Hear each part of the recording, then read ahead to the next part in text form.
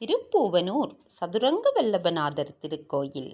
இத்தலம் தமிழ்நாட்டில் திருவாரூர் மாவட்டத்தில் பூவனூர் என்னும் ஊரில் அமைந்துள்ளது. மூலவர் சதுரங்க வல்லபநாதர் உற்சவர் புஷ்பவனேஸ்வரர்.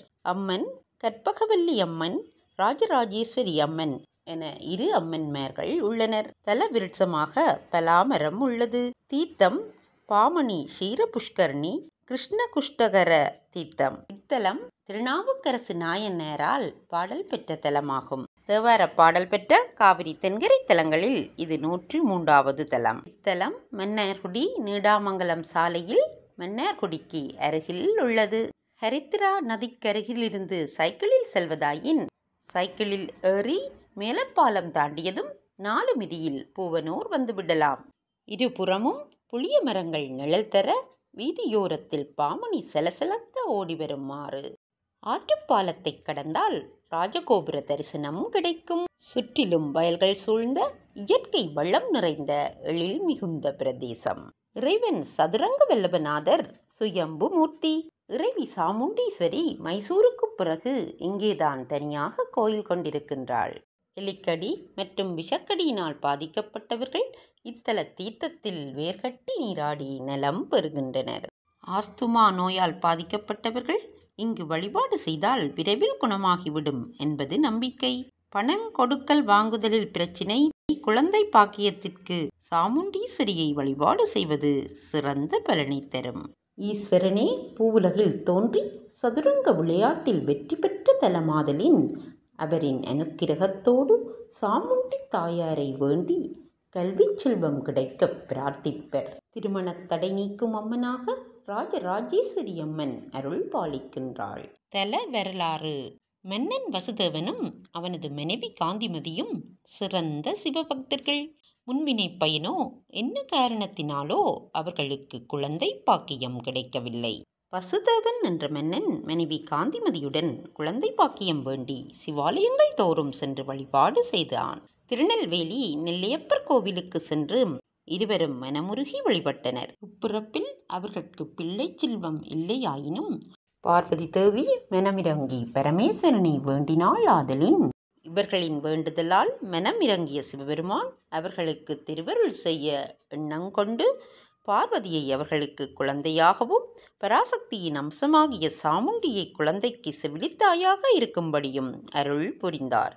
ஆதலின் மன்னன் தன் மனைவியுடன் தாமிரபரணி நதியில் நீராடும் போது பார்வதி தேவி அங்கிருந்த தாமரையில் சங்கு வடிவில் தோன்றினாள். மன்னன் அந்த சங்கை கையில் எடுத்தவுடன் என்னே அதிசயம்? அது குழந்தையாக மாறியது.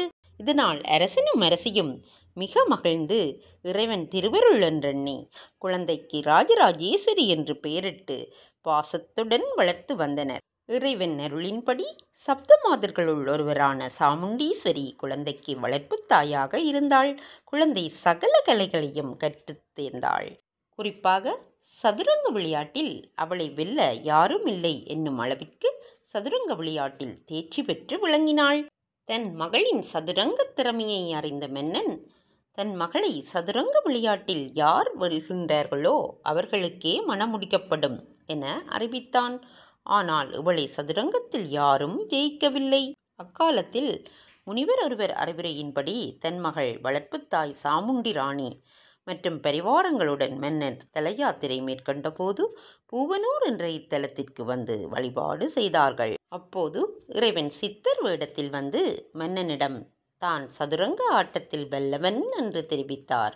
மன்னன் தன் மகளுடன் விளையாடுமாறு வேண்ட இறைவனும் ராஜேஸ்வரியை சதுரங்கத்தில் வென்று தன் உண்மையான வடிவுடன் அனைவருக்கும் தரிசனம் தந்தார்.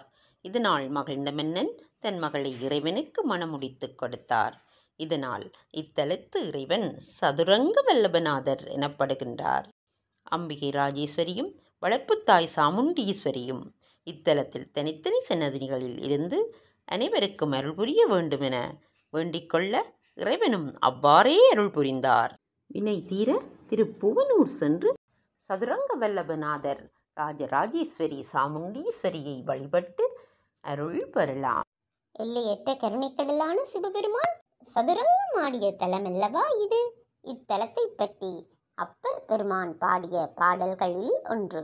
சிக்கம்பலம் ஆவின் மேவிய ஐந்தமர்ந்து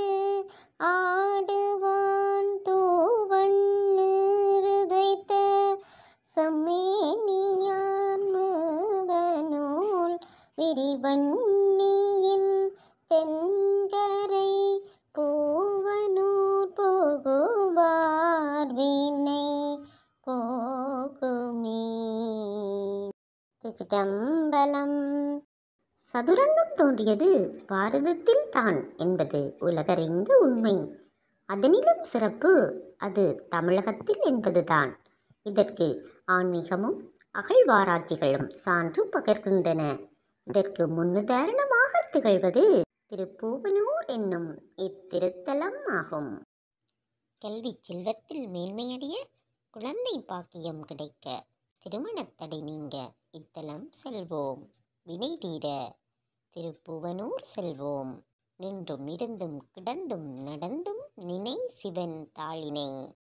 தென்னாடுடைய சிவனே போற்றி என் நாட்டவர்க்கும் நிறைவா போற்றி. மேன்மைகள் சைவ நீதி விளங்குக உலகமெல்லாம்.